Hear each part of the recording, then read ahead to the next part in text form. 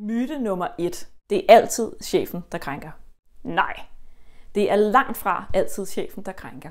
Når vi oplever krænkelser i arbejdslivet, så kommer de fortrinsvis fra kollegaer eller fra kunder.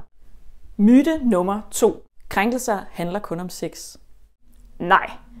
Krænkelser er et begreb, der dækker over mobning, seksuel chikane og nedværdigende adfærd i arbejdet. Det kan fx være at blive latterliggjort eller råbt af, blive udsat for sjofle, vidtigheder og kommentarer eller andre ubehagelige drillerier. Myte nummer 3. Det er kun mænd, der krænker.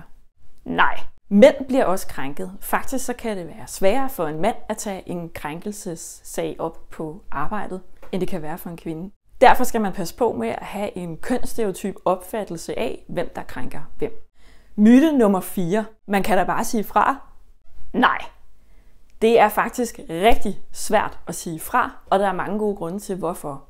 De tre vigtigste det er frygten for at miste vigtige relationer på arbejdspladsen, frygten for negative konsekvenser, frygten for at bryde kulturens normer. Myte nummer 5. Det løser sig, hvis vi ikke taler om det. Nej. Tavshedsklausuler og fortielser løser ikke problemet.